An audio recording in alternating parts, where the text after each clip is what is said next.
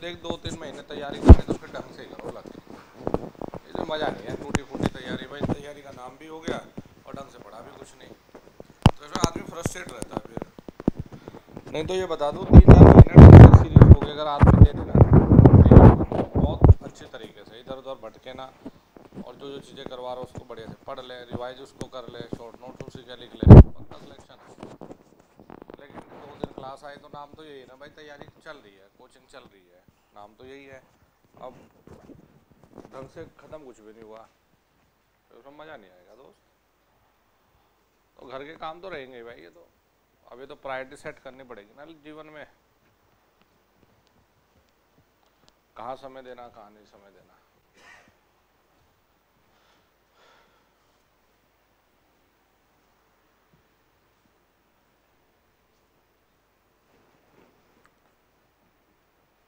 फिर नेक्स्ट शुरू करते हैं।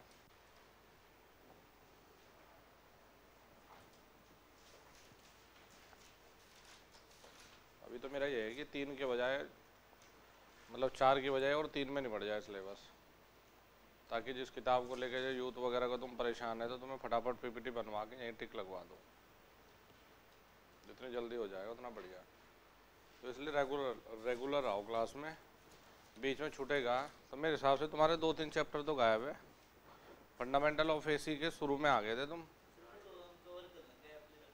नहीं नहीं कवर तो ऐप तो इन पे सब पे है। बात तो यहाँ है, जब दस बातें हो, समझना है, पूछे।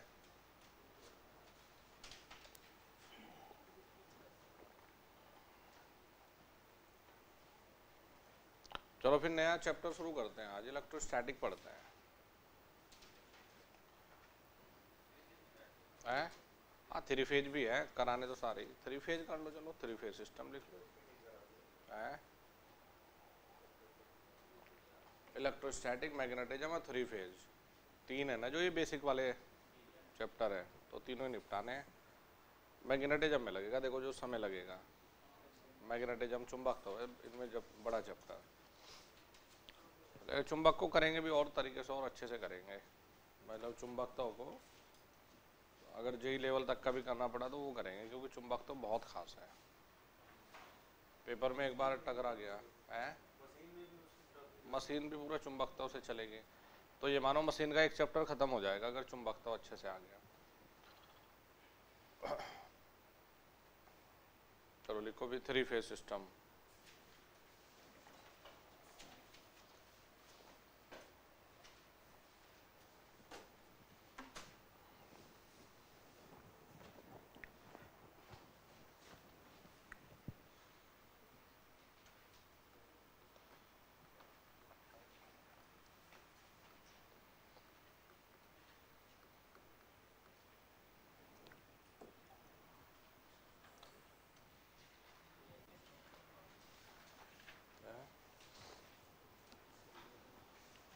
देखो, अगर प्रैक्टिकली इस्तेमाल करने की बात करते हैं तो प्रैक्टिकली हम लोग दो लेक्चर का है मतलब थ्री फ़ेज़ ना? थ्री फ़ेज़ से आजकल में, जैसे इलेक्ट्रोस्टैटिक और इलेक्ट्रोस्टैटिक और कैपेसिटेंस दो अलग अलग ये हो जाएँगे। तो ये भी मतलब दो दिन के आसपास में ख़त्म हो जाएगा। अच्छे से करेंगे तो तो ये मानो कि इस वीक के एंड तक ये तीनों चीज़ें हमें ख़त्म करनी है थ्री फ़ेज़ इलेक्ट्रोस्टैटिक और चुंबक तो ये हमारा प्रयास है। है? हाँ तो बैटरी भी पढ़ाऊँगा। है?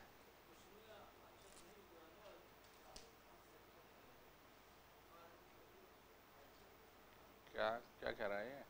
समझ नहीं रहा क्या? हाँ तो क्या करूँ? ना पढ़ाऊँ?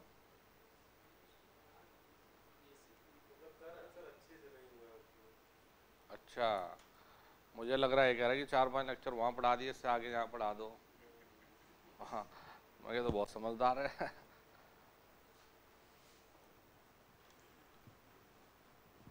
लेकिन जितना हुआ यहाँ पे, जितना हुआ, वो अच्छे से हुआ। पूरा नहीं हुआ, ये कहो। नहीं तो उसमें मैंने पाँच या चार लेक्चर सिर्फ़ उसमें दिए, इनकी बनावट, ये क्या सीरीज़ पैरेलल वाले जो लगे होते हैं, प्रथम नियम, द्वितीय नियम, इन्हीं में दिए।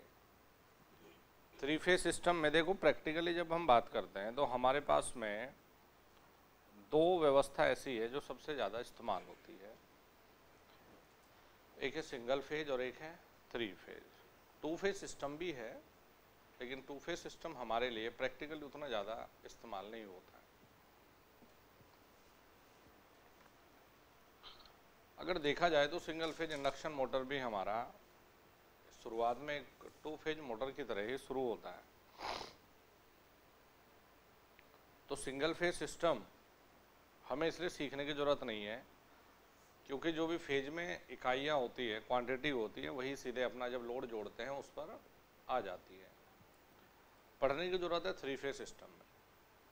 तो थ्री फ़ेज़ सिस्टम को जोड़ने के लिए हमारे पास में दो बहुत ही बेसिक व्यवस्थाएँ होती हैं। एक होती है स्टार और एक होती है डेल्टा और आप लोगों को ये ध्यान देना है कि थ्री फ़ेज़ सिस्टम में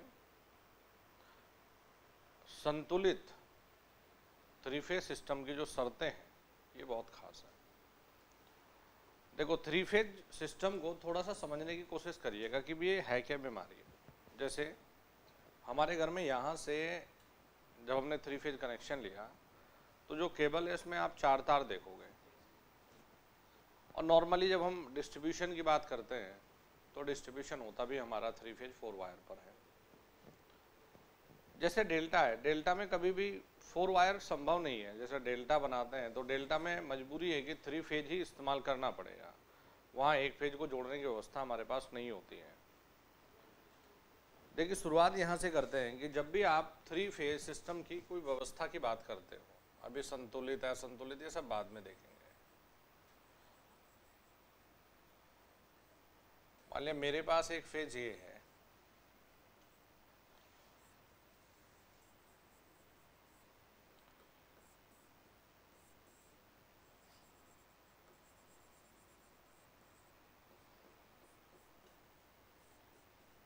ये मेरे पास तीन अलग अलग वायर है। जैसे हमने स्टार में जोड़ लिया, आपको समझाना है, चाहे स्टार में लेता चाहे डेल्टा में जैसे हम लोग ये लिखते हैं कि हमारे पास तीन फ़ेज़ आर, वाई और बी है। Red, yellow, blue. अर्थिंग को जनरली हम ग्रीन कलर से प्रदर्शित करते हैं और न्यूट्रल को हम लोग काले कलर से बनाते हैं। तो समझने के लिए स्टार सबसे बेस्ट सिस्टम की कैटेगरी में आता है। ये हमने न्यूट्रल लिया हुआ है। ठीक है जी? तो देखो, जब हम लोग सिंगल फ़ेज़ कनेक्शन लेते हैं अपने घर में तो आप देखते होंगे नॉर्मल अपने यहाँ भी आप देखेंगे तो आप एक वायर तो फ़ेज़ पे बांधोगे और एक न्यूट्रल पे और उसे घर में ले आओगे। यानी कि हमने ये कहा कि नॉर्मली हमने आर और यहाँ न्यूट्रल पर लोड जोड़ दिया तो ये होगा हमारा सिंगल फ़ेज़ लोड ठीक है जी?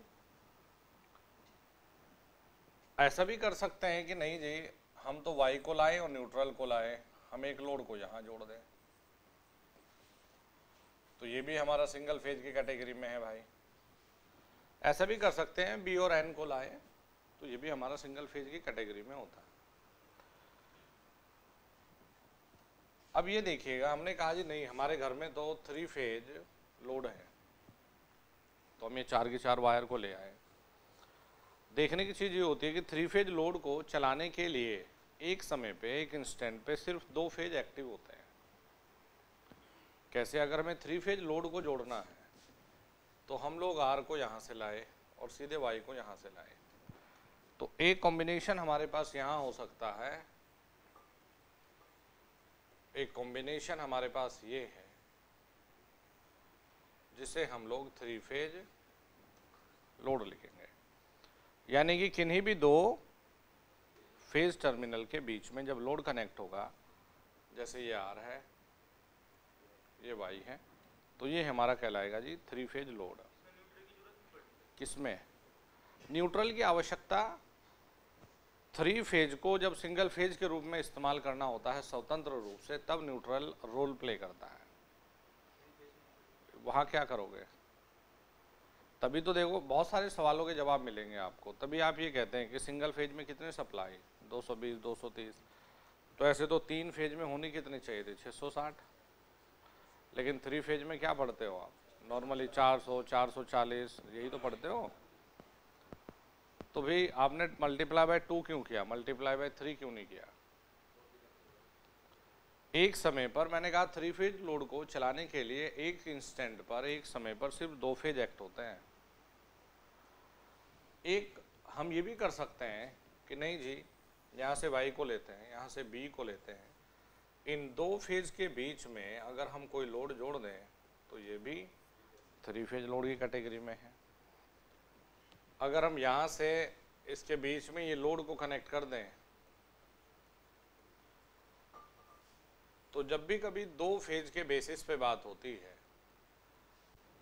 ध्यान देना है कि जब भी हम लोग दो फेजेस के बेस पे बात करते हैं तो ये जो भी क्वांटिटी यहाँ बनेगी, ये सब कहलाती है लाइन इकाई या क्वांटिटी और जब तक हम लोग सिंगल फ़ेज़ बेसिस पे बात करते हैं, जैसे हमने ले लिया आर एन तो या तो वी आर लिखें या वी आर एन लिखें या तो आई आर लिखें या आई आर एन लिखें। एन मीन्स न्यूट्रल तो ये सब इकाई, जब हम सिंगल फ़ेज़ बेसिस पे बात करते हैं, ये कहलाती है विद्यार्थियों फ़ेज़ क्वांटिटी तो ये तो मतलब था हमारा लाइन और फ़ेज़ का। इसे लिखना चाहोगे तो लिख लेना, नहीं लिखना चाहोगे तो ये मैंने नॉर्मली आपको ये बताया है कि भाई थ्री फ़ेज़ सिस्टम का मतलब होता क्या था। हमारे लिए ज़रूरी ये है, एक शब्द होता है, जिसे कहते हैं हम लोग फ़ेज़ कला या फ़ेज़ सिक्वेंस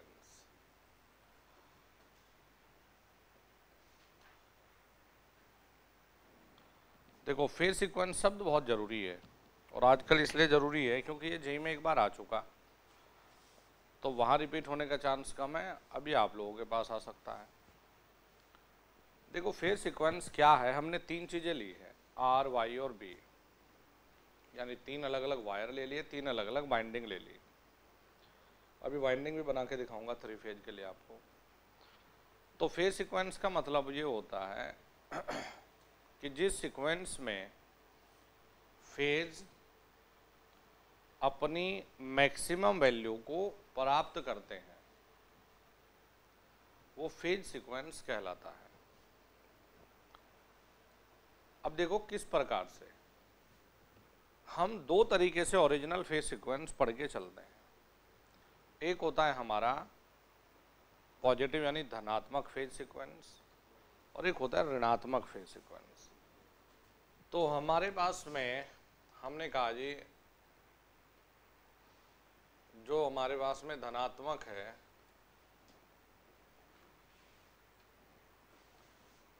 पॉजिटिव ज़्यादा सही लग रहा मुझे। जो हमारे पास पॉजिटिव फेस सीक्वेंस है। और इतना तो समझ जाओगे? तो इसका मतलब ये है कि मेरे पास में तीन अलग अलग फ़ेज़ दिए हैं जी। आर वाई और बी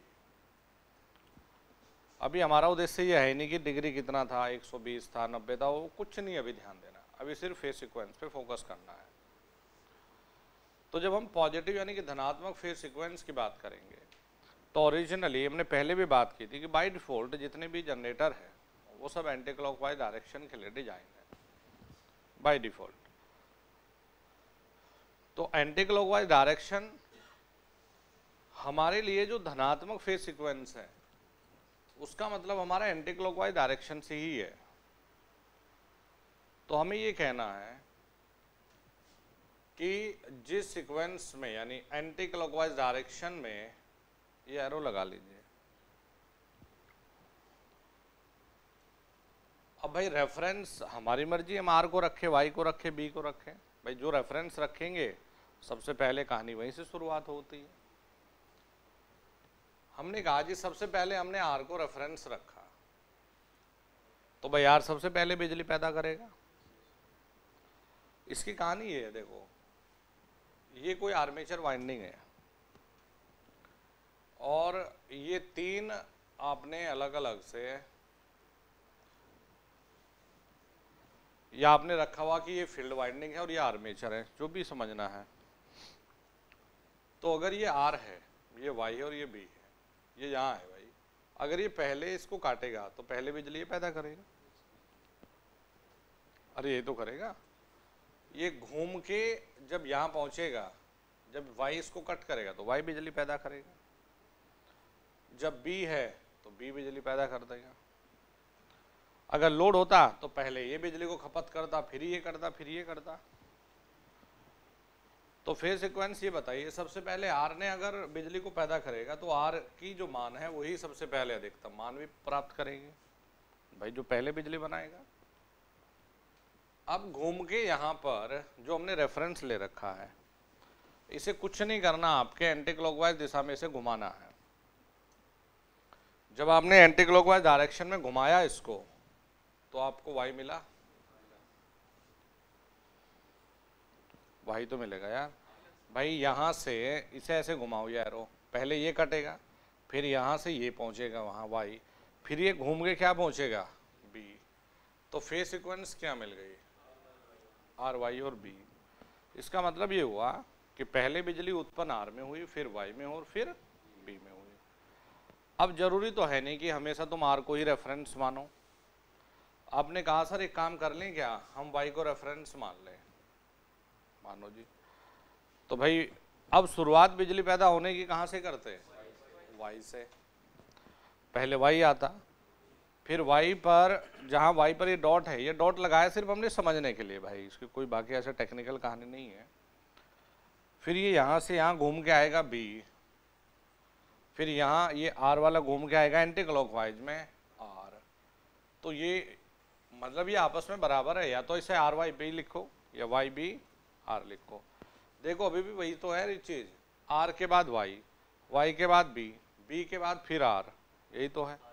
वाई के बाद वही देखो, वाई के बाद बी, वाई के बाद बी बी के बाद आर आर के बाद फिर वही वाई।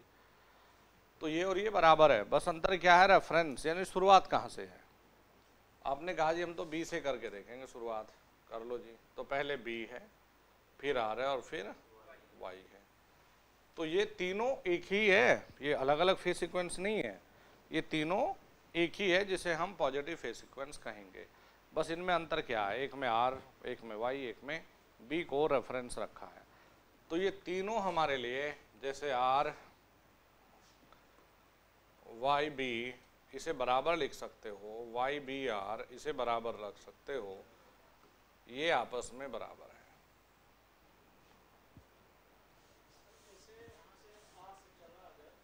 हाँ। हाँ तो कोई नहीं, आप बी को लिख लो। बताइए बी कैसे हाँ? एंटी क्लॉकवाइज घुमाएगा ना भाई?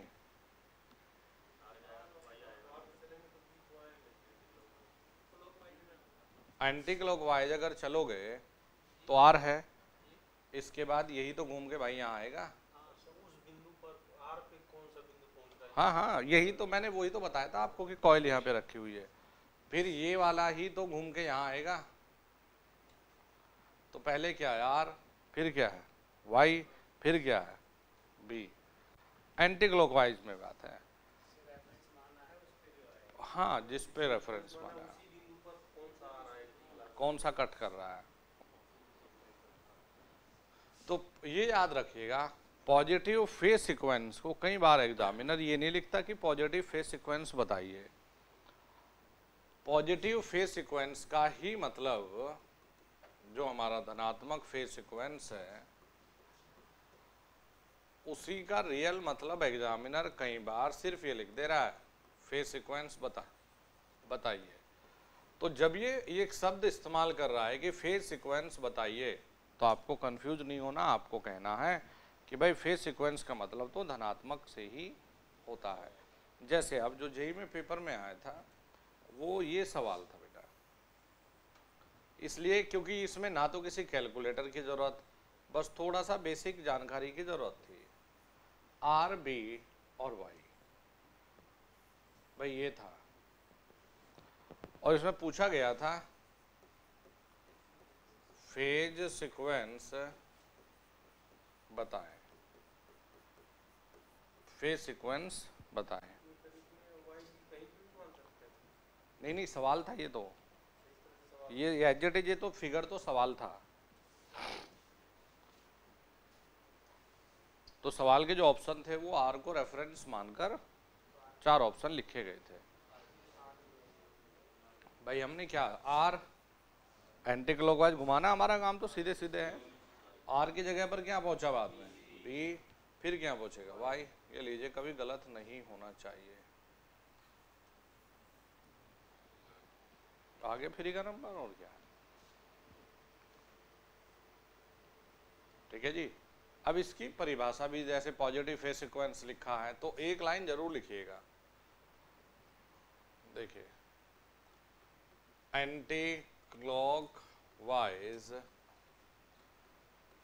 दिशा में जिस सीक्वेंस में फ़ेज़ अपनी मैक्सिमम मान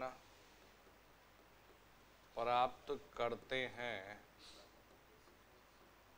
वह positive phase sequence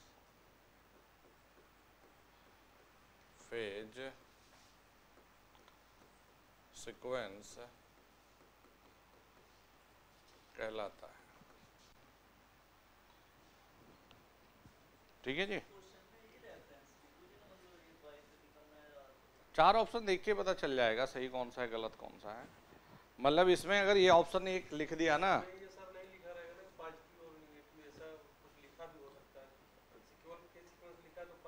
हाँ फ़ेज़ सीक्वेंस बताओ तो मतलब पॉजिटिव की बात कर रहा है और निगेटिव पूछ रहा है तो लिखेगा। निगेटिव फ़ेज़ सीक्वेंस बताइए। सवाल पूछेगा।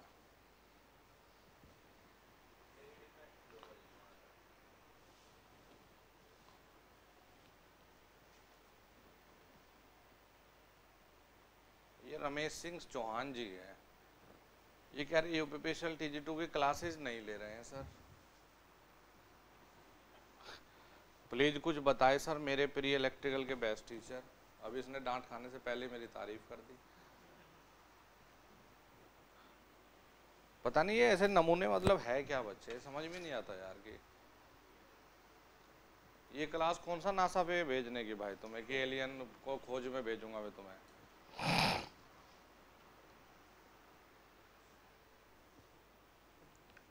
हाँ कोई एलियन की खोज थोड़ा ही करवाने तुमसे। थोड़ा सा अगर जल्दी से लिख लेंगे तो शायद आज ही निमट जाइए।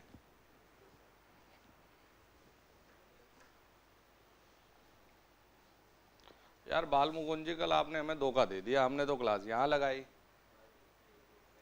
और तुम लोग आए नहीं। बताए नहीं थे?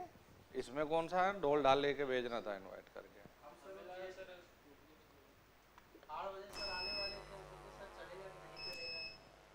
नहीं नहीं। क्लास का अगर शेड्यूल लगा है तो मतलब क्लास होगी।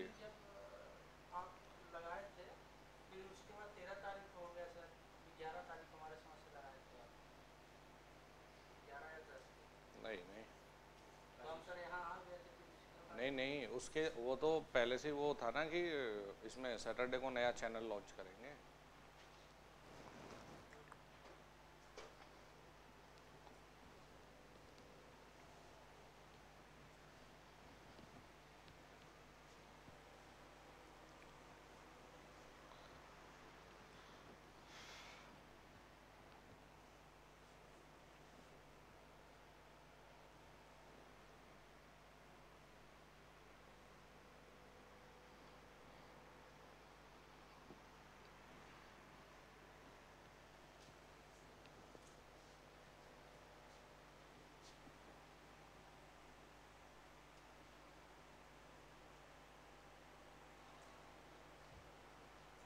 रमेश जी, आप कंफ्यूज हो बहुत ज़्यादा। आपको क्या जवाब दूँ? ये पता नहीं कौन सी 137 वीडियो की बात कर रहा है। हैं? पता नहीं भाई, ये हमें तो समझ नहीं आ रहा है क्या कर रहा है भाई।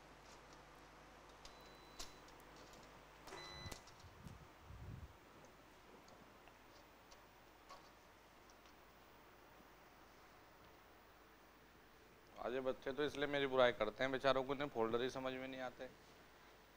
पढ़ना क्या है? मैं रात दिन मेहनत पर लगा हुआ उन्हें ये नहीं समझ आ रहा कि चल क्या रहा क्यों जब क्लास ही नहीं देखते देखे तो पता चले। क्यों भाई अरुण जी? जब क्लास रेगुलर रहे तो पता भी चले, मेहनत कौन कर रहा नहीं कर रहा।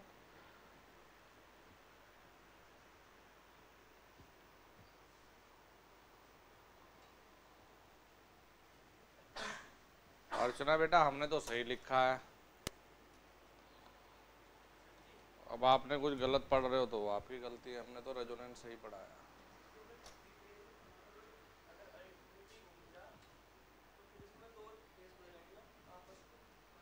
अब देख, फिर वही भावनाओं में बह रहा थ्री फ़ेज़ मोटर कौन सी? थ्री फ़ेज़ तो बहुत सारी है। कौन सी? थ्री फ़ेज़ इंडक्शन मोटर के बाहर के दो तार बदल दो, चलने की दिशा विपरीत हो जाएगी। इसका ही तो मतलब है, फ़ेज़ सीक्वेंस बदल देना। ठीक है जी?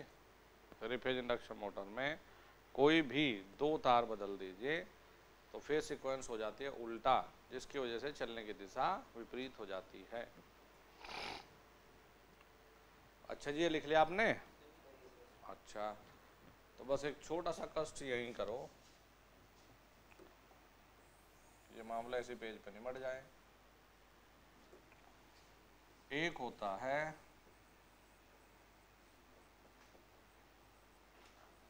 नेगेटिव फ़ेज़ सीक्वेंस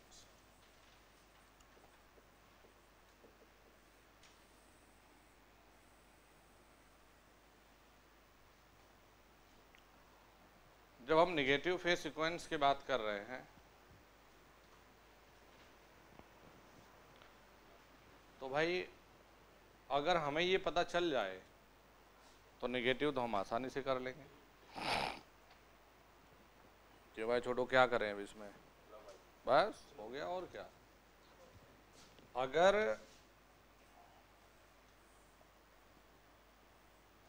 जबकि ये एक अनबैलेंस कंडीशन होती है मतलब पॉजिटिव हमारी वर्किंग कंडीशन है। ये भाई आर है, ये वाई है और ये बी है। तो उसमें क्या था? एंटी क्लॉकवाइज दिशा में इसमें क्या है? बस तो इसका मतलब क्या है? घड़ी के चलने की दिशा में।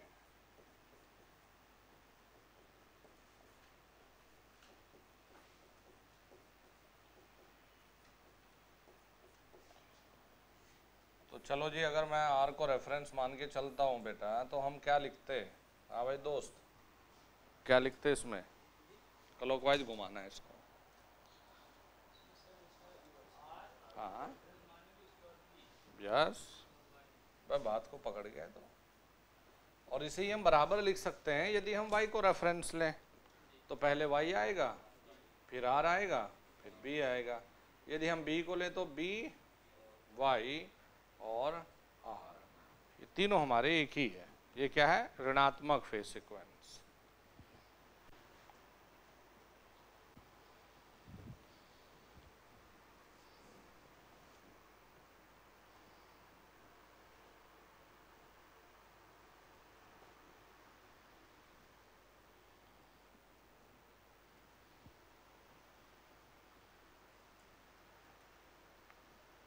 देखो तो मैं इसलिए बोलता हूँ कि रटो मत, समझो। एक बच्ची है, उसने लिखा हुआ है कि, सर, रेजोनेंस में लीडिंग वोमेगा ग्रेटर देन पे लीडिंग है। उसने वो पैरेलल पढ़ा और मतलब पॉइंट पैरेलल का पढ़ लिया और देख लिया सीरीज़ वाला।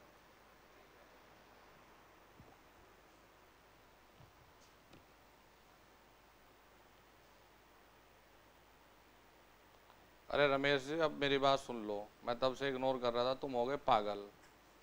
ठीक है? तुम्हें ना पढ़ना, ना लिखना। एक सौ सैंतीस वीडियो एक सौ सैंतीस वीडियो जो फोल्डर चल रहा है ऑफलाइन वाला, इसको फॉलो करिए। अरे क्या उसी फोल्डर में वीडियो अपलोड करनी ज़रूरी है? तुम्हें कोर्स से मतलब है कि नहीं? अलग ही थ्योरी भी अलग ही थ्योरी चल रही तेरी। जब क्लास करनी ही नहीं है। अब मैं लगभग बारह पंद्रह दिन हो गए होंगे इसमें क्लास लेते हुए, पंद्रह दिन? पंद्रह से ज़्यादा ही हो गए होंगे।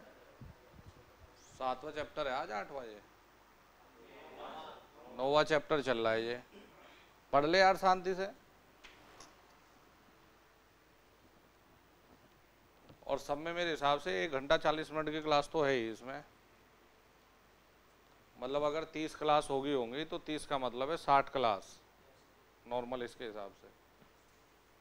घड़ी के चलने की दिशा ये हो गया निगेटिव इसमें ज़्यादातर फिर भी कहूँगा संभावना इसी की पेपर में रिपीट होने की, ये वाले की। क्योंकि डेल्टा वाला थोड़ा देखने में बच्चे को समझने में दिक्कत हो जाती है और ये पेपर में आ रखा है। तो ये इंपॉर्टेंट मार्क कर दिया। चलो भाई आगे बढ़े।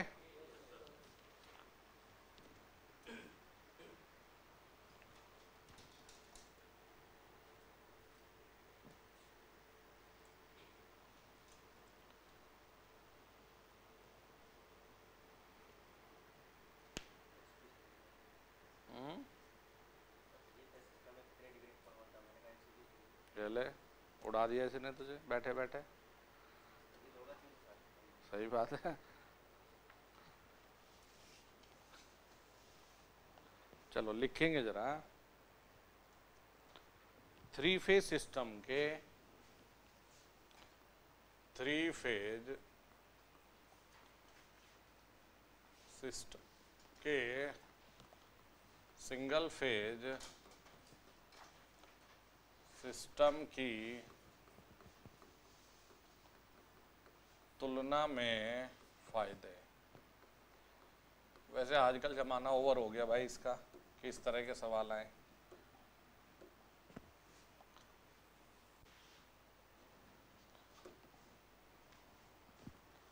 थ्री फ़ेज़ सिस्टम के सिंगल फ़ेज़ सिस्टम की तुलना में फ़ायदे।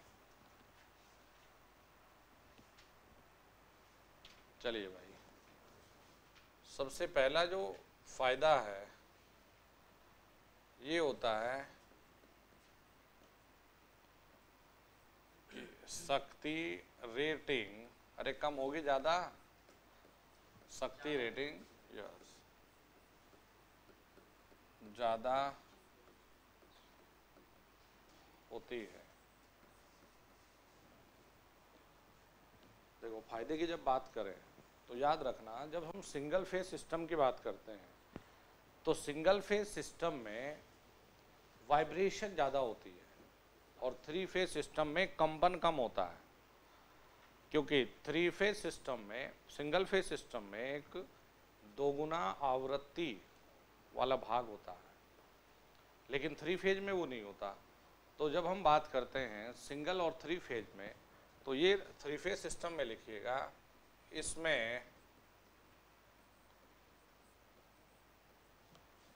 कंपन, यानी कि मैं बात कर रहा हूँ बेटा वाइब्रेशन इसमें कंपन या वाइब्रेशन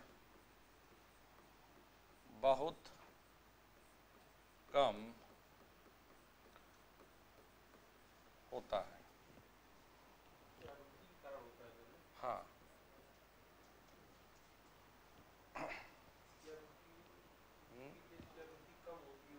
नहीं नहीं, आवृत्ति कम नहीं होती। देखो, ये होता है। जब हम सिंगल फ़ेज़ में V और I लिखते हैं ना इंस्टेंटेनियस पावर तो हम V M sine omega T I M sine omega T जैसे फ़ेज़ एंगल एफ़ आई तो हम ये हल करते हैं इसको। तो हमें एक टर्म जो मिलेगा, एक तो ओमेगा टी का टर्म मिलता है। और इसमें एक हिस्सा हमें टू ओमेगा टी वाला मिलता है।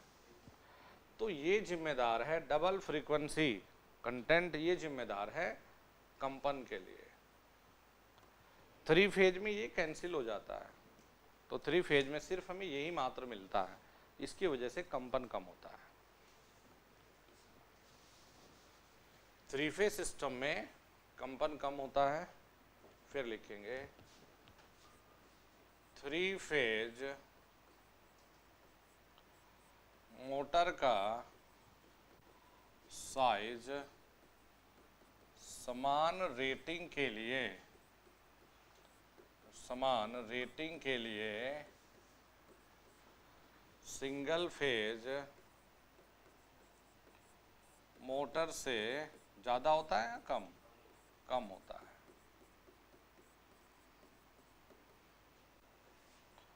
फिर ये है थ्री फ़ेज़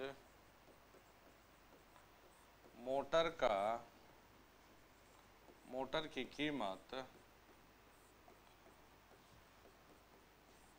समान रेटिंग के लिए सिंगल फ़ेज़ मोटर से कम होती है। चलो यार, एक तो आप लोग भी बताओ, ये तो नॉर्मल हम लिख रहे हैं, ये किताब वाले भी नहीं है तो नॉर्मल हमारे जो, हमें नॉर्मल पता होने चाहिए, हम तो वही बिंदु बात कर रहे हैं। बताइए जी, क्या लिखे हैं? हाँ? ये ये लिखेंगे कि थ्री फ़ेज़ मोटर स्वचालित बनाए जा सकते हैं। सेल्फ स्टार्ट भाई, जैसे थ्री फ़ेज़ इंडक्शन मोटर है। लेकिन single phase motor self start नहीं होता है। ये सेल्फ स्टार्ट ही नहीं है भाई। देखो जी three phase supply three phase supply ज़्यादा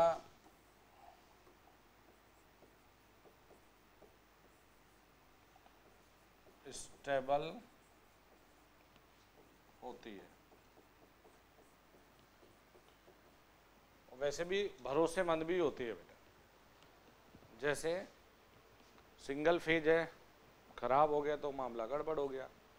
यदि आपके पास में थ्री फ़ेज़ सप्लाई अवेलेबल है तो आप किसी दूसरे फ़ेज़ और न्यूट्रल के सहारे भी काम चला सकते हो।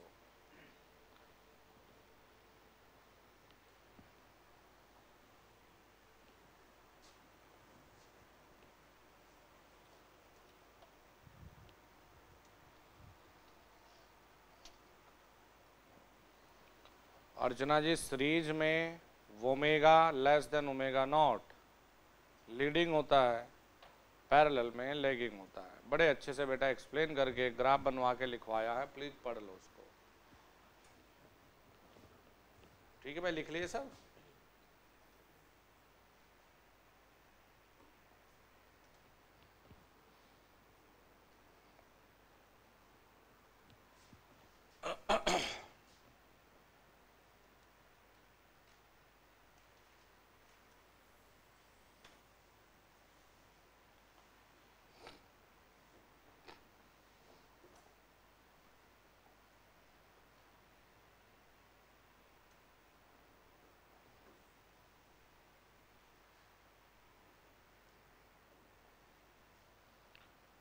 देखो जी, हम बात कर रहे थे अभी।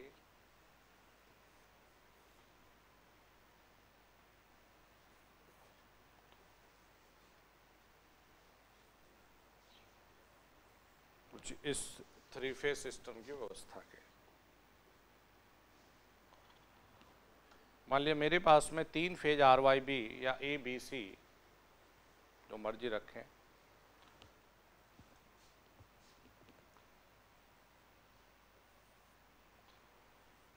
ये हमने दिखाई है भैया, यहाँ जो डॉट डॉट है, ये है आर्मेचर वाइंडिंग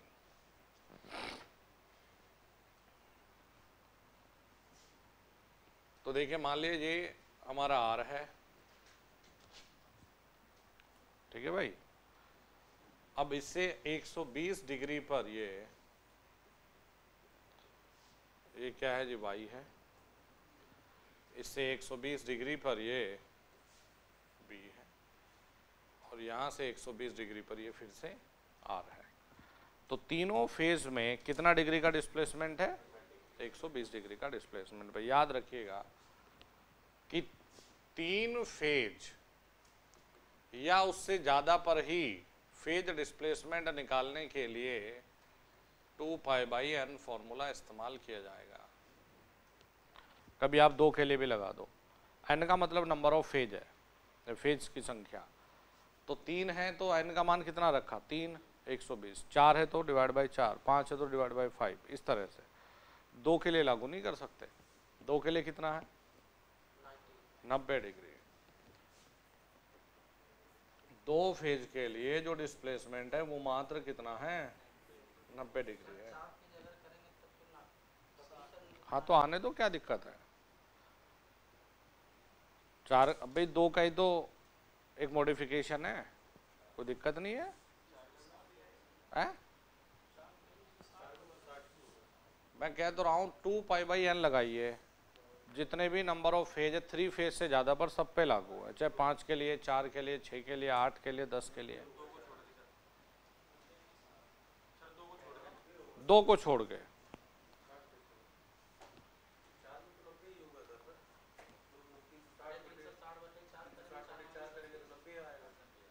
चार नम छत्तीस होते हैं यार, नब्बे आ गया सीधी सीधी बात है। नब्बे आएगा, कोई दिक्कत है ही नहीं। देखो जी, जो मैंने ये बनाया है, मान लिया मैं आपको ये कहूँ कि ये ए है, ये हिस्सा इसी का कहलाता है ए डैश क्योंकि जब हम बाइंडिंग करते हैं, एक तरफ़ से तार को अंदर भेजते हैं और दूसरी तरफ़ से तार को बाहर निकालते हैं। तो ये ए और ए डैश ये एक ही फ़ेज़ है आर ठीक है भाई? कभी तुम इसे सोचो तो छह फ़ेज़ बन गया। एक वाइंडिंग के तार को अंदर भेजना है, एक वाइंडिंग के तार को बाहर लेना है। बस ये इतना बताता है। जैसे हमने यहाँ क्रॉस बनाया, मान लिया मैं चलो बी लिख दूँ इसका नाम, ये बी है तो ये बी डैश है। तो ये कुछ अलग नहीं है, हमने जब वाई के लिए बाइंडिंग किया तो यहाँ से तार को अंदर भेजा और यहाँ से निकाला। इसी प्रकार से अगर ये सी है तो ये फिर सी डैश है। तो ये A A dash B B dash C C dash दिखने में तुमने गिने कितने लाइन है? ये छः है। ये छः फ़ेज़ नहीं है, ये तीन फ़ेज़ है। क्रॉस का मतलब अभी चुंबकता हम सीखेंगे। इस क्रॉस का मतलब धारा का अंदर जाना होगा और डॉट का मतलब बाहर आना होगा। ठीक है जी? तो यहाँ से हमने बाइंडिंग कुल मिला के ये करी है कि भाई बाइंडिंग यहाँ से अंदर है, यहाँ से बाहर है। इस तरह से बाइंडिंग को लपेटा है। तो ये थ्री फ़ेज़ सिस्टम की एक व्यवस्था होती है।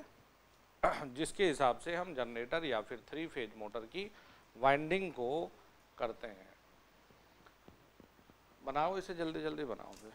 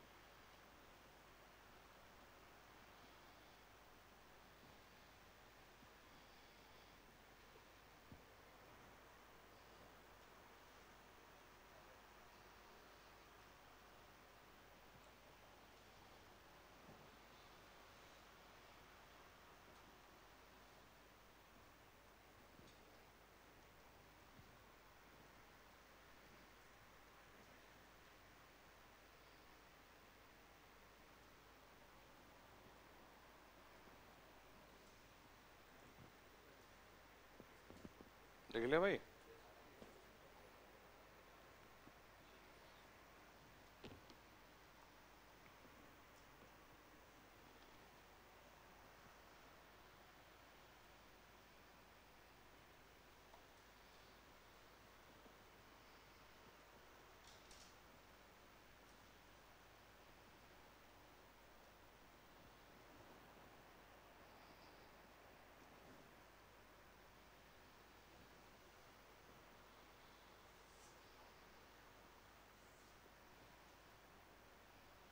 आजकल जो मेरी क्लास हो रही थी ना मॉर्निंग में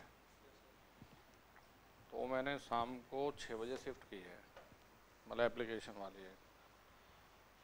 तो कभी कभी बीच में मान लिया कोई टॉपिक छोटा मोटा होगा तो उसके लिए मैं आपको फिर सुबह छः बजे बुला लूँगा, ताकि एक घंटे में कोई टॉपिक ख़त्म हो जाए। चलिए जी नेक्स्ट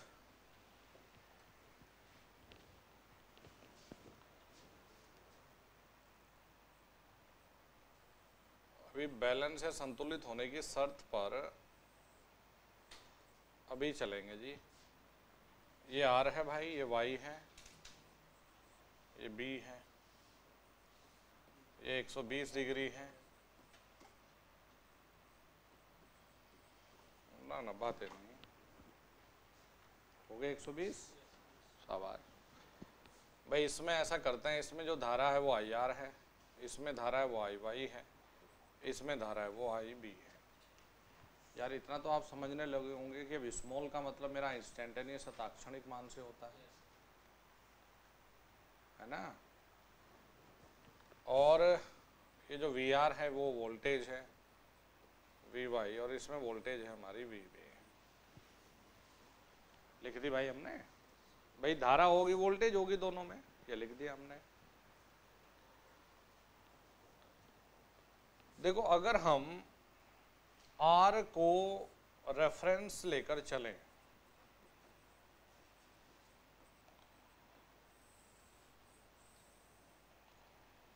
यदि हम आर को रेफरेंस मानकर चलते हैं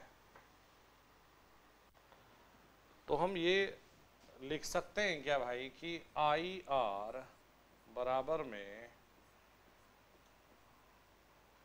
आई आर आई आर इसकी कैपिटल मान। अरे ये। आई बराबर I M sine omega T.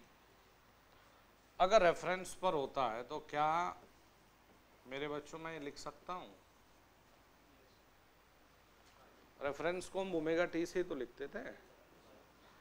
अब ये बताइए, आई वाई बराबर में आई वाई एम ये बताओ आई आर से आई वाई नब्बे, एक सौ बीस डिग्री पीछे है? है जी? तो हम क्या लिखे इसे? साइन माइनस के एक सौ लिख सकते भाई? आई बी बराबर में आई बी एम साइन। भाई, अगर मैं एंटी क्लॉकवाइज में देखो 120 और 120 240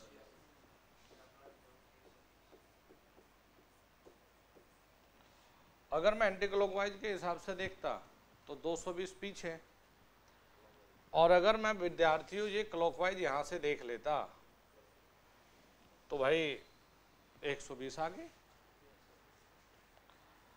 यार, अगर मैं यहाँ से एंटी क्लॉकवाइज में देखता हूँ तो मुझे एंटी क्लॉकवाइज में जो पीछे है उसमें माइनस लगाना पड़ता।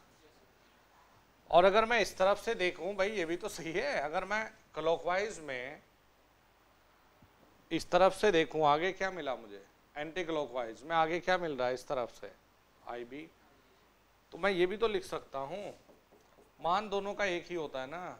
साइन ओमेगा टी प्लस में 120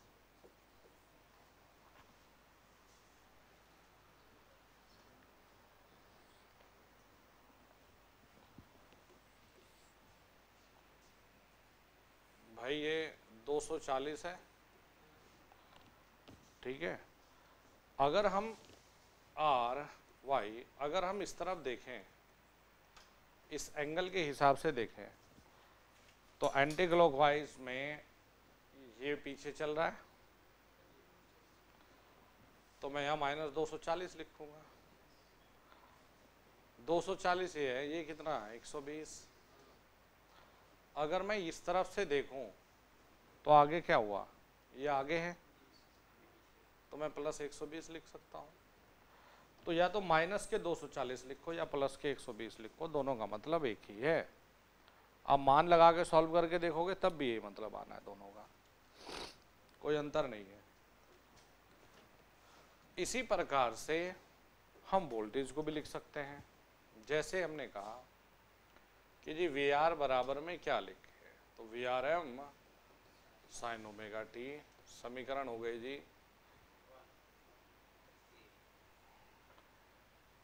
वी वाई है। तो V Y M sine omega T minus एक सौ बीस डिग्री। और बेटा वी बी है। तो V B M sine omega T minus दो सौ चालीस, ये ले लिया हमने छठा। इसमें भी सेम या तो प्लस लिख लो, या माइनस दो सौ चालीस, या प्लस के एक सौ बीस। तो थ्री फ़ेज़ सिस्टम को लिखने का जो तरीका अभी हमने देखा है, ये करंट और ये वोल्टेज को लिखने का तरीका है, क्योंकि प्रत्येक फ़ेज़ 120 डिग्री एंगल पर स्थित होता है। अब लिखिए जरा थ्री फ़ेज़ सिस्टम के थ्री फ़ेज़ सिस्टम में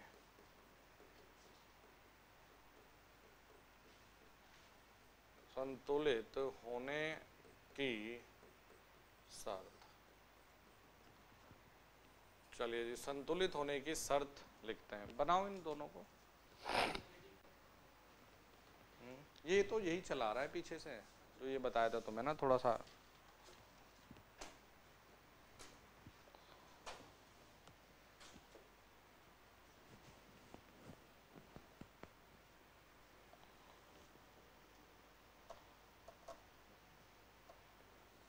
भैया टाइम चेंज होता है तो ऑफलाइन वाले नहीं ऑनलाइन लाइव क्लास में ही बोलता हूँ कि कल इतने बजे आना, शाम को आना है।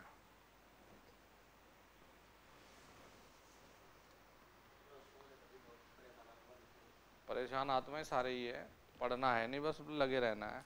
मैं तो चिल्ला चिल्ला के बोलता हूँ, जब क्लास ही नहीं देखते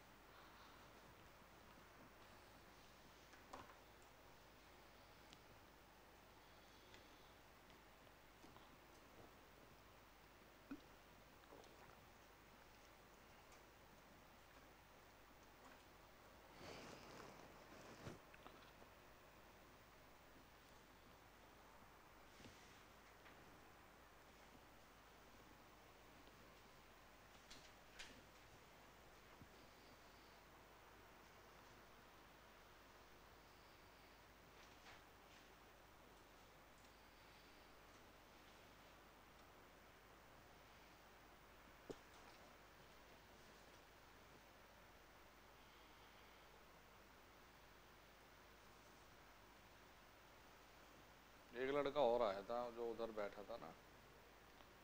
तो बोला कि सर अभी तो मैं घर जा रहा हूँ जब भर्ती आएगी कल परसों आया था। हाँ। तो ना वो तो कह रहा कि सर अब मैं तभी करूँगा रूम पे ही रहता होगा फिर तभी करूँगा जब भर्ती आ जाएगी सर। भर्ती आएगी तभी।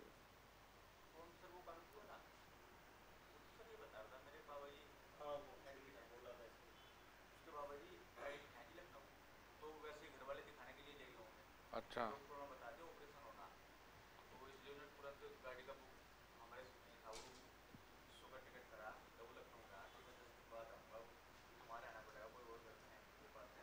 नहीं मुझे तो सुनील सर बता रहे थे कि वो ये कह रहा था कि हाँ एक और भी आया था बच्चा ना। तो ये एक नहीं एक लड़का और भी आया था जो आ, ये भी कह रहा था कि मुझे उधर ही बैठा था वो जेई की तैयारी करनी। अच्छा तुम्हारे साथ रहता था?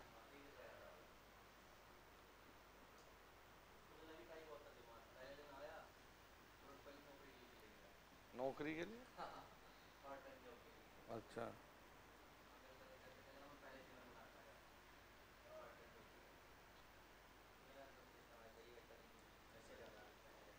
फ्लक्चुएशन माइंड तो दिक्कत करेगा ये।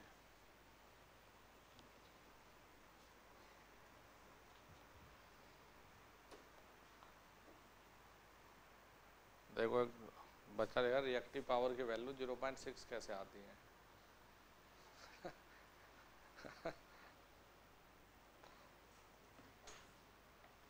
ये सब अजीब अजीब किताबों से प्रताड़ित है, बेचारे, इनकी भी गलती नहीं है।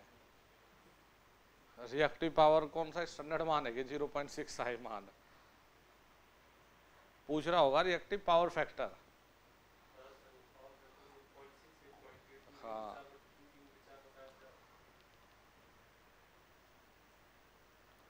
और मैं बोलता हूँ, सब चीज़ें छोड़ के एक बार सुन लो ध्यान से। हाँ उसमें ज़ीरो पॉइंट सिक्स बनता है।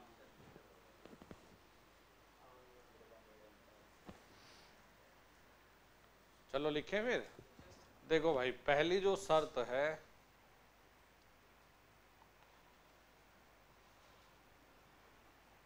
प्रत्येक फ़ेज़ एक दूसरे से 120 डिग्री डिस्प्लेसमेंट या फ़ेज़ कोण रखता है। डिस्प्लेसमेंट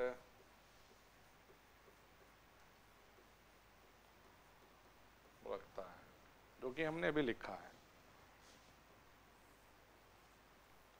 ये चित्र भी बनाते चले साथ साथ में। जैसे हम आर वाई बी लिख रहे हैं तो 120 डिग्री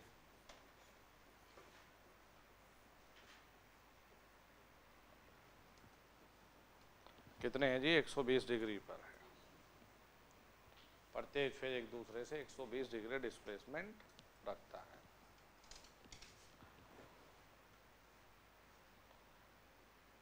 देखो भाई, बहुत ही ज़रूरी बिंदु है।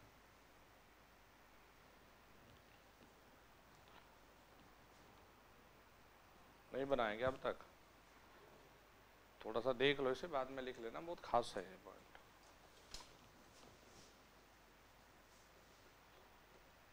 प्रत्येक फ़ेज़ में धारा का मान, प्रत्येक फ़ेज़ में धारा का मान बराबर होता है। मान का मतलब है मैग्नीट्यूड। ठीक है भाई?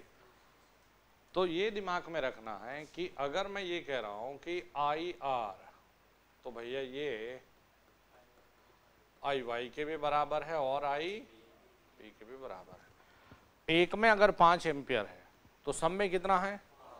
लेकिन बीच में कौन कितना? 120 डिग्री। तो इसे लिखते हैं हम लोग फ़ेज़ धारा की बात करें तो भाई आई पी। पी मतलब फ़ेज़, आई मतलब धारा हो गई। तीसरा बिंदु है। प्रत्येक फ़ेज़ में वोल्टेज का मान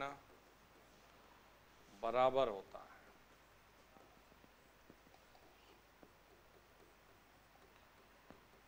जैसे हमने लिखा वी आर में तो वही मान होगा बेटा वी वाई में और वही मान होगा वी बी में। और इसे क्या लिखेंगे? वी पी प्रत्येक फ़ेज़ में वोल्टेज का मान भी बराबर होगा। एक में 200 वोल्ट है तो दूसरे में भी 200 वोल्ट है, तीसरे में भी। लेकिन कौन कितना है? 120 डिग्री पर स्थित है। देखो जी, बच्चे को कंफ्यूज करने के लिए कई बार याद रखिए आई आर के साथ एन दे दिया जाएगा या वाई के साथ एन तो इस एन का कोई मतलब नहीं, ये एन मतलब एक फ़ेज़ और एक न्यूट्रल यानी एक ही फ़ेज़ है। तो जब भी आई आर एल लिखा जाएगा तो इसका मतलब समझ जाइएगा कि ये फ़ेज़ धारा की ही ज़िक्र कर रहा है या फ़ेज़ वोल्टेज का ही ज़िक्र कर रहा है। नेक्स्ट है जी नंबर चार पर।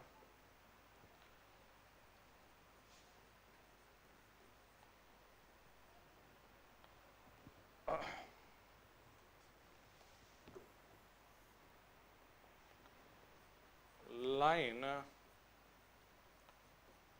लाइन धारा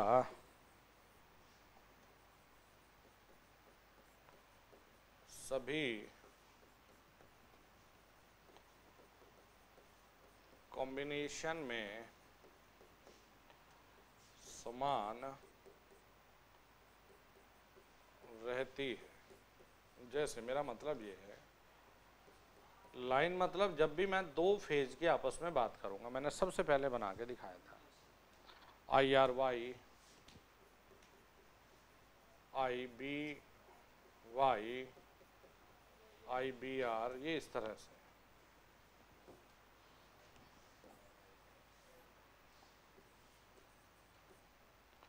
तो ये आई तो लाइन में एक में अगर पाँच एम्पियर आया तो सबके लाइन कॉम्बिनेशन में पाँच ही एम्पियर है। इसी प्रकार से नेक्स्ट है, लाइन वोल्टेज के सभी कॉम्बिनेशन में लाइन वोल्टेज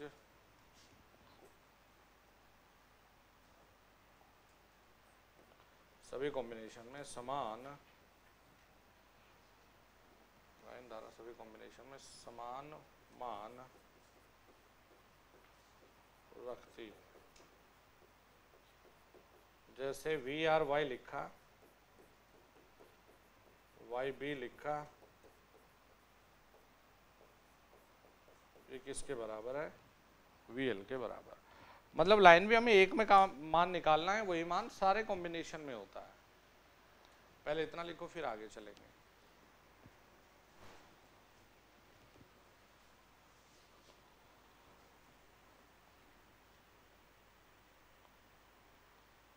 भाई फर्जी किताब ना पढ़ो ये कह रहा है कि किताब में लिख रखा है एक्टिव पावर का मान 0.5 रहता है और रिएक्टिव पावर का मान 0.6 रहता है। तो भगवान ही मालिक है भाई। कई बार लिखता भी तो सही है, लेकिन बच्चा पकड़ ही नहीं पाता कि वो क्या लिख रहा है। किताब की गलती थोड़ा ही है। अरे भाई, ये स्टैंडर्ड नहीं होता। ये सर्किट पैरामीटर पे निर्भर करता है। वी आई के मान बदलते जाएँगे तो ये सब बदलते चले जाएँगे।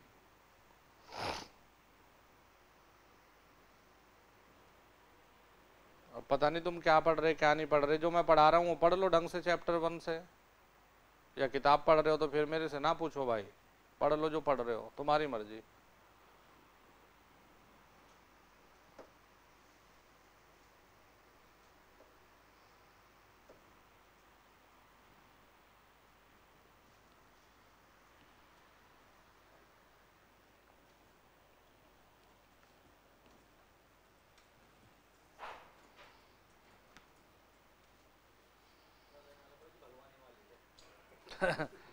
नहीं, बताओ एक्टिव अगर 0.5 स्टैंडर्ड होगी तो फिर पढ़ क्यों रहे ये तो सारी कहानी हल होगी।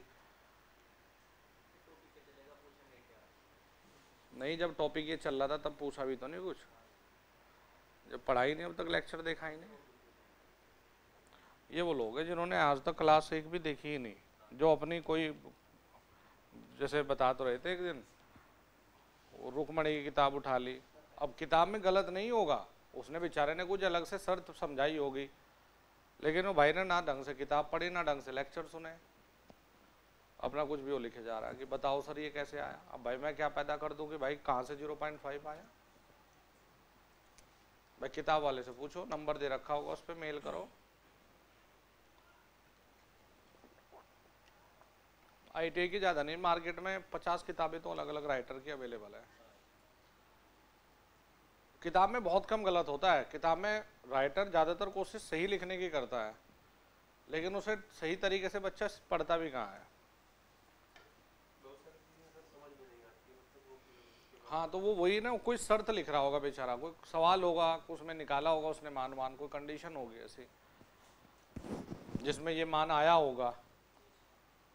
उसने भाई ने उसी को स्टैंडर्ड मान के अपना चल रहा है।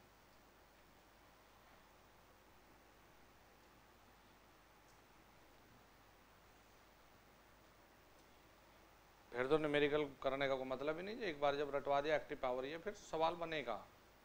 फिर तो सबका मान वही है। मतलब ये पंखा चलेगा, तब भी एक्टिव पावर वही है। ये एसी चलेगा, तब भी एक्टिव पावर ये है। तो बिजली का बिल तो फिर फिक्स है ज़ीरो पॉइंट फाइव के हिसाब से बना के भेजो भाई।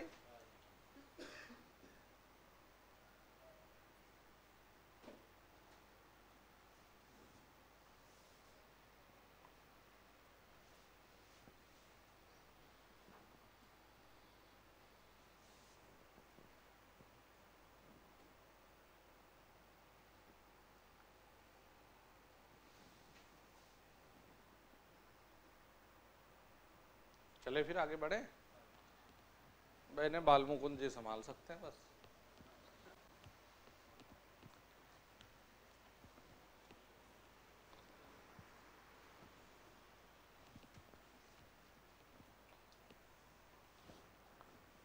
चलिए जी, कितने हो गए थे प्यारे? पाँच? चलो। प्रत्येक फ़ेज़ में प्रतिरोध प्रतिघात व प्रतिबाधा का मान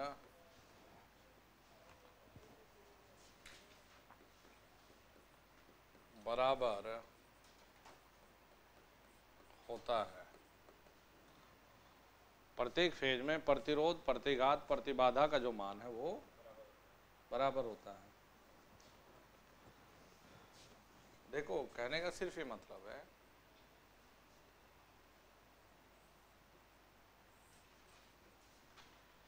अगर आर यहाँ है तो यहाँ भी आर होगा, ये भी आर होगा।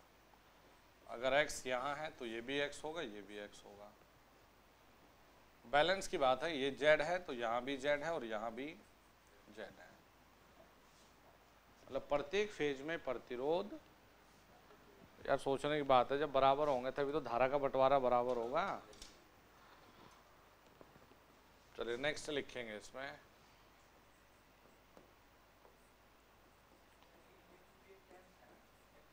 नहीं नहीं, प्रतिघात लिखा इंडक्टिव कैपेसिटेंस कुछ भी हो। मतलब रिजल्टेंट प्रतिघात बराबर आना चाहिए। प्रत्येक फ़ेज़ में फ़ेज़ कोण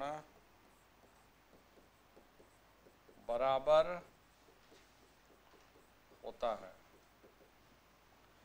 फ़ेज़ एंगल कितना है भाई? अबे 120 नहीं है। वो तो प्रत्येक में प्रत्येक फ़ेज़ से था। ये लिख रहा प्रत्येक फ़ेज़ में फ़ेज़ कोण बराबर होता है। ज़बरदस्ती। अरे डिपेंड करेगा जो आपने बाइंडिंग बनाई है। कहने का तात्पर्य ये है, मान लिया ये वोल्टेज है, और ये करंट है। तो इस वोल्टेज और करंट के बीच यदि यहाँ 30 डिग्री है, उदाहरण है, ये कभी स्टैंडर्ड मान लो उस बच्चे की तरह की 0.5 तो फिर यहाँ भी 30 आना चाहिए और यहाँ भी यानी इस वोल्टेज और करंट के बीच भी 30 इस वोल्टेज और करंट के बीच भी 30 तो हम 30 नहीं लिखते भाई, कभी लेने के देने पड़ जाए। हम फाइव लिख लेते हैं। ये फाइव ये फाइव और ये फाइव। किसके बीच है? जैसे यहाँ वाई था तो वी वाई और आई आर वी बी और आई बी हाँ आई भाई। सबसे महत्वपूर्ण शर्त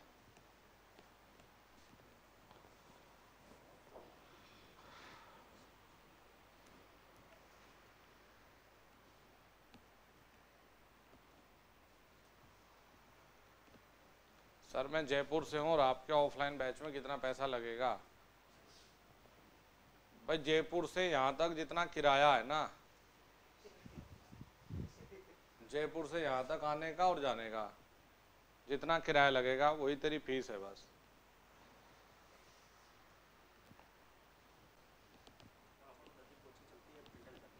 हम्म। अरे वो तो महान अध्यापक है यार, हम उनके बराबर कहाँ भाई।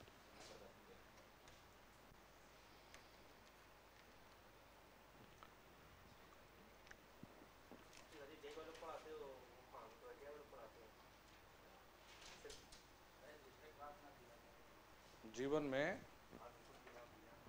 हमेशा अध्यापक कोई भी हो, हमने ये सीखा है कि हम उसे प्रणाम भी करते हैं और हम उसका पूरा मान सम्मान भी करते हैं। हम उन अध्यापकों में से नहीं है भाई जो एक दूसरे की बुराई करें। सबने जीवन में अपने मेहनत की है, सब अपनी मेहनत को रंग दे रहे हैं भाई।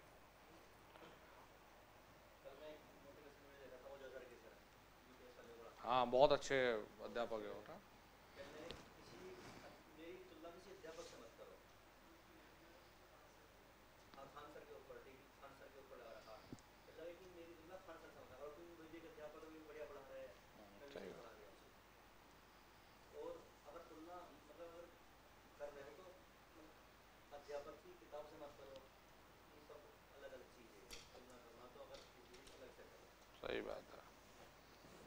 तुलना करना भी है और हमेशा जो भी इस क्षेत्र में है। देखो, निन्यानवे प्रतिशत अध्यापक अपनी तरफ़ से बेस्ट देने का प्रयास और प्रयत्न करते हैं। सभी अपना प्रयास करते हैं, सभी अपनी मेहनत करते हैं, सभी अपनी मेहनत के दम पे यहाँ सरवाइव कर रहे हैं।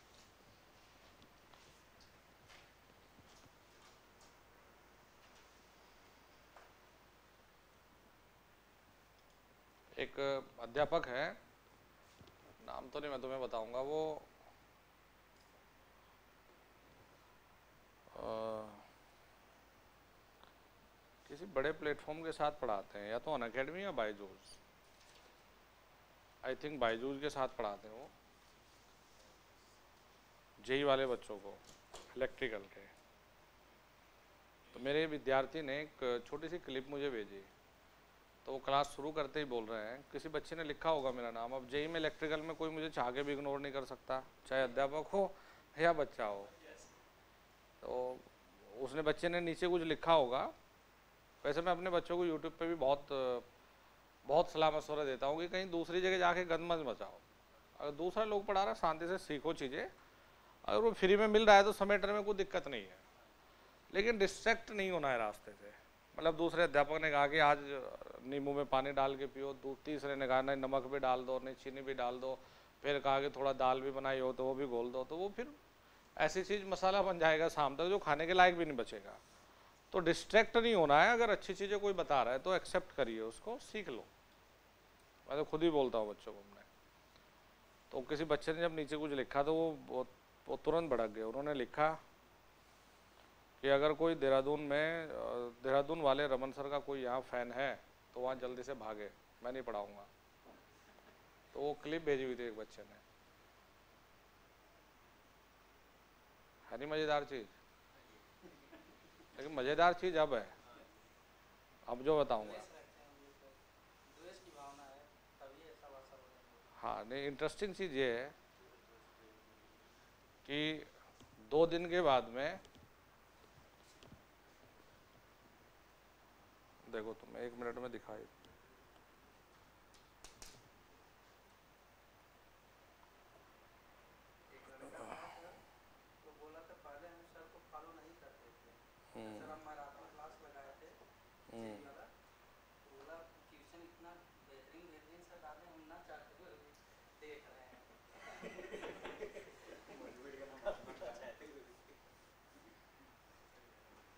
तो जब वो इंसिडेंट हुआ ये 24 मार्च 2022 की बात है। इसके जस्ट बाद इनका रिज्यूमे मुझे आया कि I want join the online classes जब उन्होंने वो वीडियो दी और मुझे मैसेज किया कि मेरा प्लान ऐसा है कि पूरे इंडिया में सिर्फ़ ई e का नाम हो ए और जेई के लिए इसलिए मैं आपके साथ मिलकर काम करने का इच्छुक हूँ। कृपया मुझे एक चांस दे। जो, जो वो बोल रहे थे तो वो इंटरेस्टिंग फैक्ट ये था मैंने कहा ना चाह के भी तुम इग्नोर नहीं कर सकते।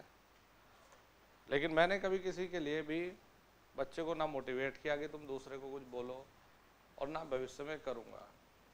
हमेशा याद है, ऊपर वाला एक एक चीज़ कैलकुलेशन करता है, आपके आपके मेहनत का, आपके मान सम्मान का एक एक चीज़ का काउंट करता है।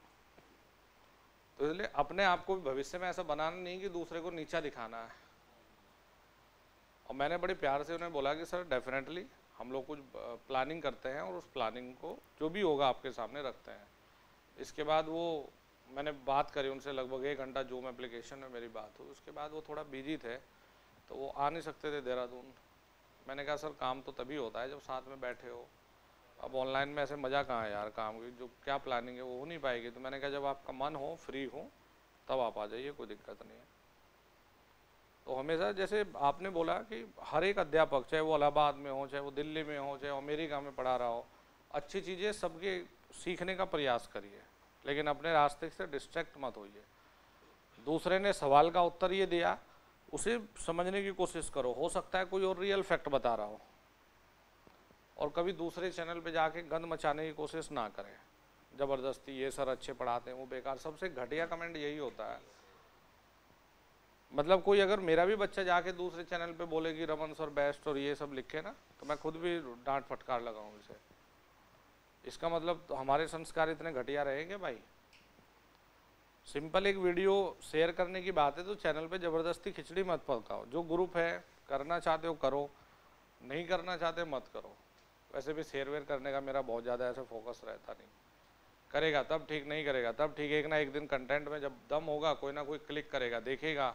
वो अपने आप जुड़ेगा, जैसे उसने कहा कि सवाल बढ़िया रहते हैं तो बच्चा देखेगा ही। इंटरेस्टिंग ये है एट्थ नंबर की कंडीशन कि बैलेंस थ्री फ़ेज़ सिस्टम में, देखो न्यूट्रल में न्यूट्रल में शून्य धारा बहती है। देखो न्यूट्रल में ये तो लिख दिया, शून्य धारा बहती है। लेकिन शर्त एक और थी। न्यूट्रल में शून्य विभव होता है। तो देखो न्यूट्रल में जब हमने कहा आई एन का मान भी ज़ीरो वी एन का मान भी ज़ीरो तो हमने पावर या शक्ति निकाली। कितनी तो न्यूट्रल में शक्ति कुछ है नहीं। मैं बैलेंस की बात कर रहा हूँ, और ये शर्त भी हमारे बहुत कम आएगी। इसीलिए जब हम न्यूट्रल की बात करते हैं तो न्यूट्रल को एक नाम दिया जाता है ज़ीरो पावर बस, जिसे शॉर्ट में जेड पी भी लिखा जाता है। कई बार आ गया कि जेड पी से आप क्या समझते हैं? ज़ीरो पावर बस भी है, या जेड पी किसे कहा जाता है? आई में तो खास कर ये चीज़ पता होनी चाहिए। चले लिखिए, ये बैलेंस होने की हमारे शर्त ही ख़त्म करिएगा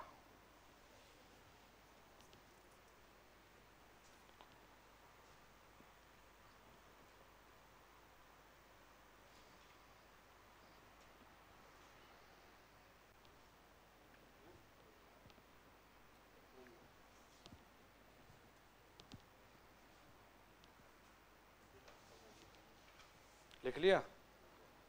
चलो जी, फिर आते हैं स्टार और डेल्टा। अब देखो चॉइस आपकी है, ये बताओ फिर। स्टार डेल्टा में डायरेक्ट लिखा के काम चल जाएगा या फिर छोटे से डेरिवेशन भी करा दूँ? डायरेक्ट लिखा दें?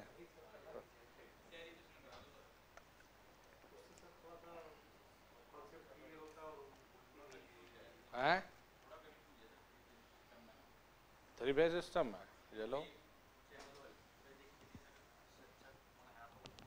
अरे ले कोई टेंशन नहीं। तो इतना उदास क्यों हो रहा है, बोले? कहीं किसी से कुछ परमिशन थोड़ा ही लेनी, भाई। वैसे तो मैंने तुम्हारा दिल रखने के लिए पूछ लिया था। कराना तो मुझे पूरा ही था, क्योंकि इसके बिना काम चलेगा नहीं।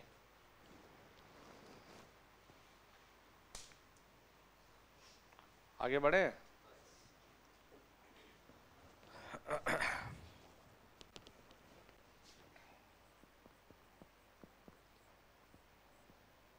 चलो जी, फिर लिखो स्टार कनेक्शन।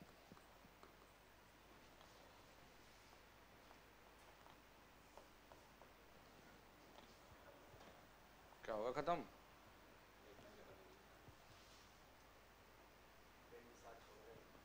क्या हो गया, खत्म? सिलेंडर?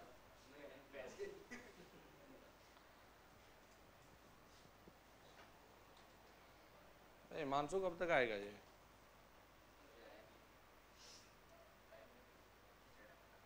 इतने दिन में तो नामकरण का दूसरे बच्चे की तैयारी हो जाए? हाँ यार, अजीब मतलब ज़बरदस्ती की छुट्टी ले रखी। है? कौन? नहीं नहीं, वो उधर गया है, उसके भैया जॉब करते ना यहाँ।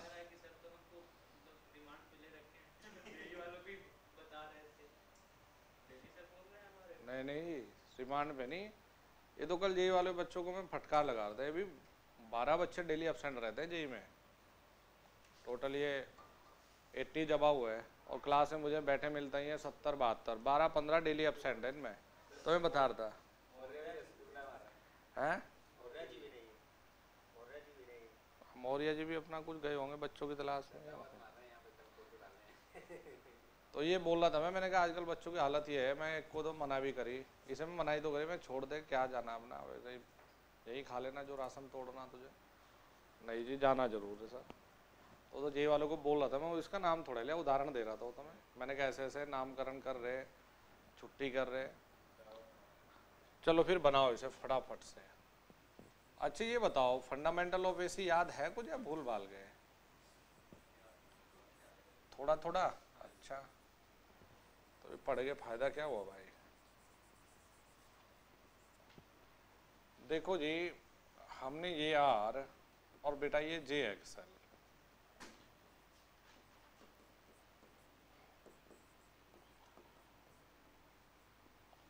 कुल मिलाकर यहाँ जो इम्पिडेंस है, बेटा ये जेड फाई है।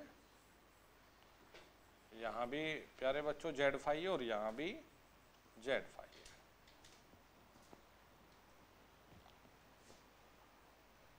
ये आर है, ये वाई है और ये पी है। ठीक है? इसमें हमने कहा कि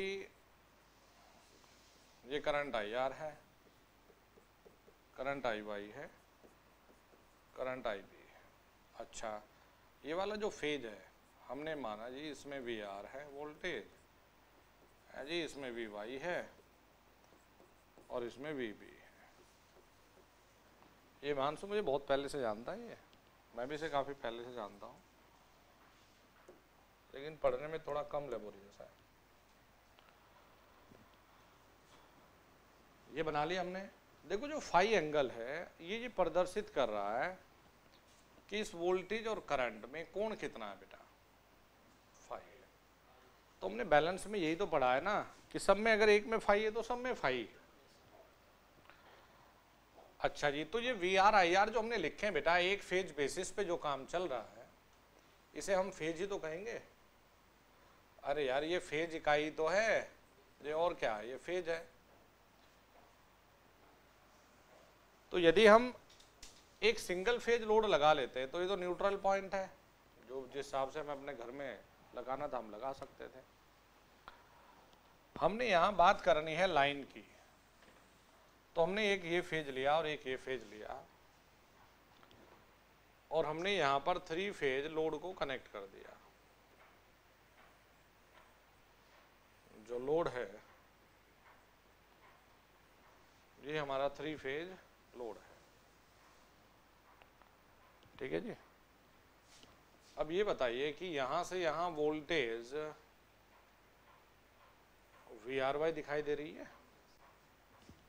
भाई, ये पॉइंट आर था, ये वाई था तो वी आर वाई हो गए।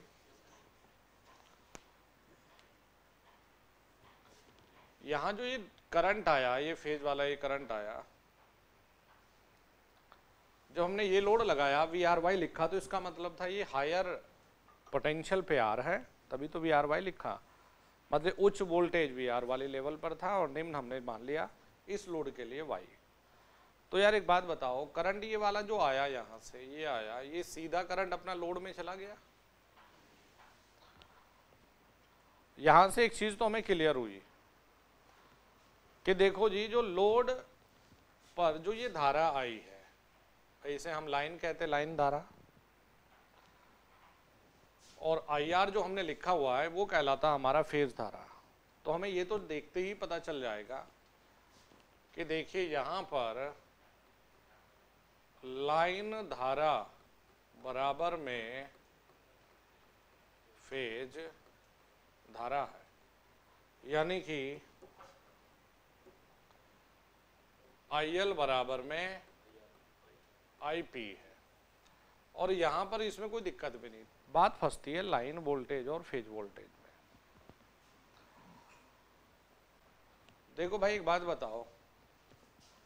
आप ये कह सकते हैं बाबू कि वी आर बराबर में वी वाई वी बी ये फ़ेज़ ही तो है। फ़ेज़ वोल्टेज है भाई। और प्यारे बच्चों वी आर वाई को क्या आप V R minus V Y लिख सकते हो? अरे ये उच्च वोल्टेज है पोटेंशियल डिफरेंस ही तो है वी आर वाई अच्छा वी आर वाई का मतलब ही लाइन वोल्टेज है। अच्छा मैंने इसलिए कहा कि फंडामेंटल ऑफ़ एसी अगर याद होगा तो इसे पढ़ने में रियल में मज़ा आएगा।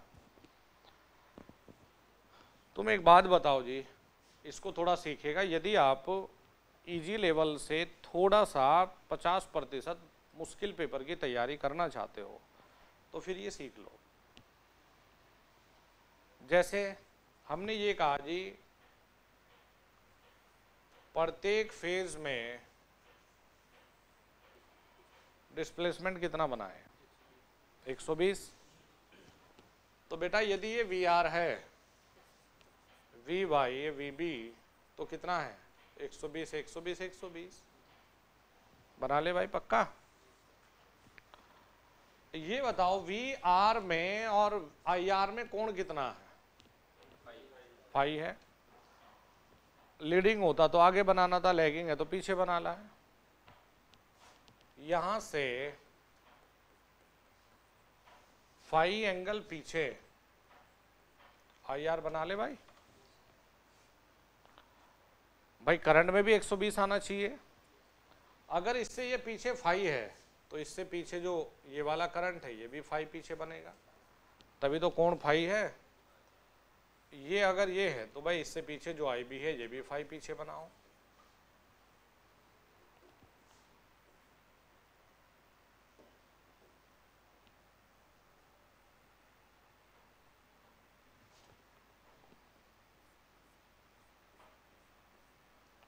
भाई सब फाइव फाइव फाइव पीछे बना लिए। जब ये फाइव पीछे है, ये भी फाइव है, ये भी फाइव है तो I R I Y I B में कौन 120 डिग्री है, कह सकते हो? आपको कुल मिलाकर ये निकालना है V R minus V Y देखो, इसे आप ये भी तो लिख सकते हो। वी आर प्लस और माइनस के वी वाई ये माइनस सिर्फ़ दिशा ही तो बताएगा। मान तो बताएगा नहीं। मान तो हमने लिख रखे हैं। मैग्नीट्यूड सब में समान है। अगर ये वी आर है तो यहाँ से, बेटा जल्दी बोल दो, ये माइनस वी वाई हो गया। अगर इधर पॉजिटिव है तो इधर ले जाओ निगेटिव है। टोटल ये 120 था। 120 के बीचों बीच ये पीछे हटा दिया। तो ये बताओ, ये कोण कितना है? 60 डिग्री है। हमें, क्यों भाई दोस्त, पक्का है? मैं बता दिया कर तो नाराज़ सा हो जाता है एकदम। ये 120 था, इसको एजेंटेज लाइन को पीछे हटा दिया तो ये बीचों बीच आ जाएगी। तो ये 60 में बांट दिया। हमें रिजल्टेंट बताना है, हमें परिणामी वोल्टेज बतानी है किसकी वी आर और वी वाई की।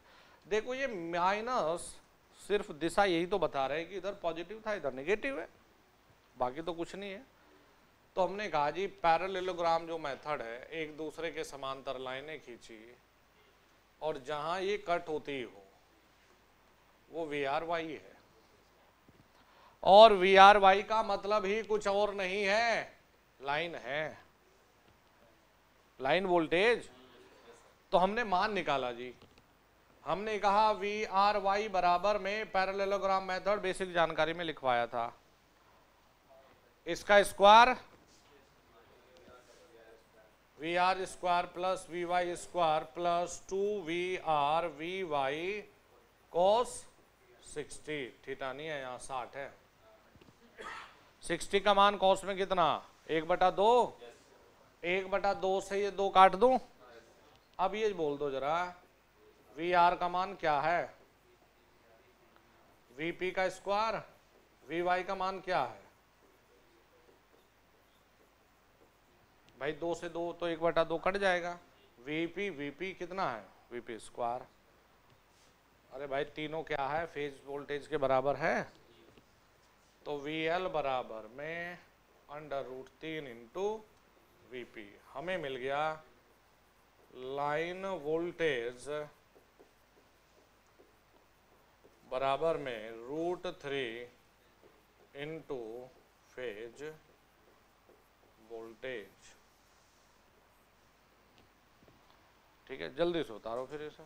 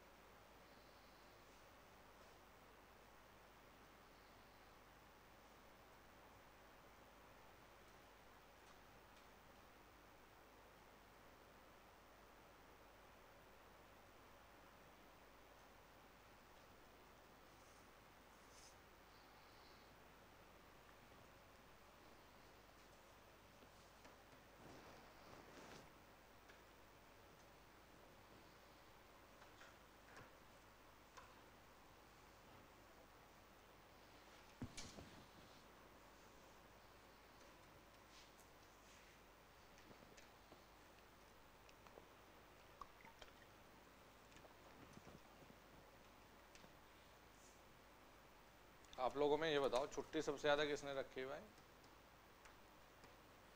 जब से जब से ये बैच शुरू किया, तब से मेरी कितनी छुट्टी रही भाई? एक दिन हुआ था, वो भी मेरे फीवर हो गया था मुझे। वो भी मैंने फिर कई बार फिर अलग क्लास लेके पूरी कर दी। तो सबसे ज़्यादा छुट्टी लेने वाला कौन है तुम भाई? अभी तो बाल मुकुद आगे चल रहा था।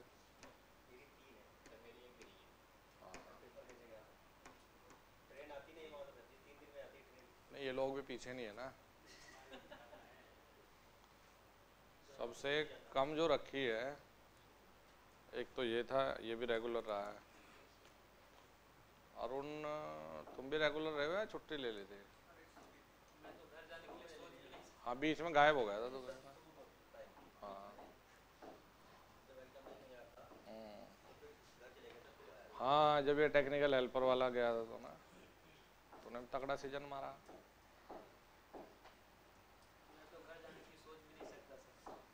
दूर है। तो तो और अच्छा है। सोचना ही गलत है फिर। नज़दीक वाले का नुकसान है। एक दिन छुट्टी मिले थैला उठा के भागेगा।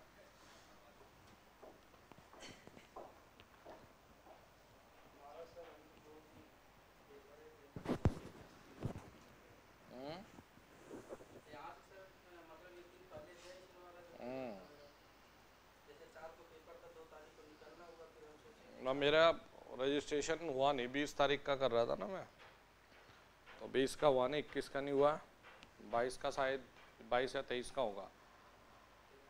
हाँ तो तब मतलब अगर बीच में जैसे संडे भी आएगा तो कोई छुट्टी नहीं है। हम्म? है? हाँ अरे भी है हाँ। तभी तो मज़ा है हाँ रजिस्ट्रेशन होता। है तभी तो फीलिंग आती है वहाँ की हवा भी ऐसे लगती है, कटीली वाली बिल्कुल जैसे, इतनी प्योर हवा आती है, जैसे झरने से ना छन आ रही हो। लेकिन अब जब यात्री बहुत ज़्यादा गंदगी कर देते हैं फिर। सरकारी कोई सटीक प्लानिंग नहीं है। अभी इतनी नहीं है भीड़, ना? अभी थोड़ा सा पहले के कंपैरिजन में कम है, क्योंकि जून से डरे हुए ना, पहले आपदा आई थी जून में।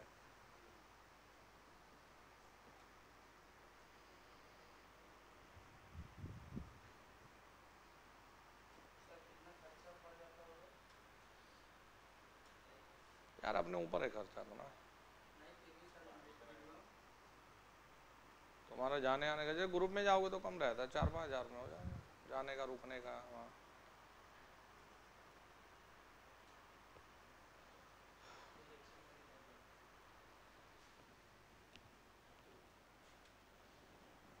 भगवान के साथ क्या शर्त यार, दोस्त? मैं तो ये बच्चों को ऐसे जा रहा था, मैंने इनके लिए बोला था यार। बीस बाईस किलोमीटर है पैदल, मुझे पैदल ही जाना है।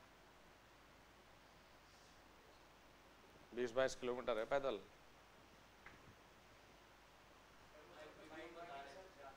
हैं? बाइक की जब, बाइक कहाँ ले रहे सीढ़ी एंट्री पे ही सीढ़ी है। बाइक जाने का चांस ही नहीं है। मतलब जहाँ से यात्रा शुरू होती है ना, वहाँ एंट्री ही सीढ़ियों से है। आगे मतलब रास्ता ऐसा कुछ बना ही नहीं रखा ना, फिर आगे पहाड़ का रास्ता तब स्टार्ट है।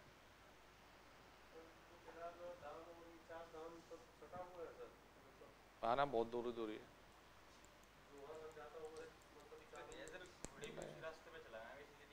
हाँ। लिख लिया आप लोगों ने ये। गधों पे, घोड़ों पे तो रिस्की है यार, और भी।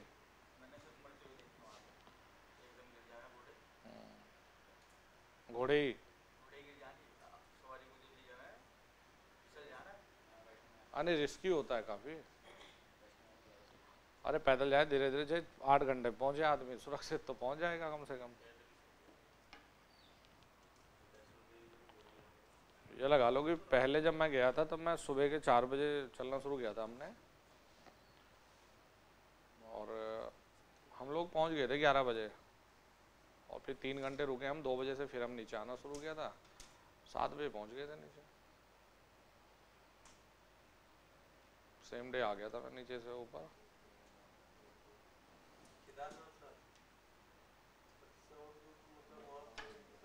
बद्रीनाथ पैदल नहीं है। बद्रीनाथ तो गेट तक वो जाती है। जहाँ लाइनें लगती है, वहाँ तक गाड़ी जाती है।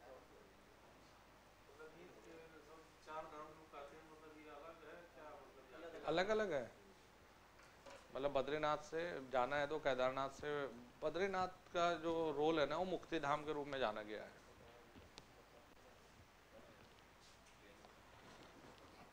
चलिए, यहाँ से आगे कल करते हैं इसको।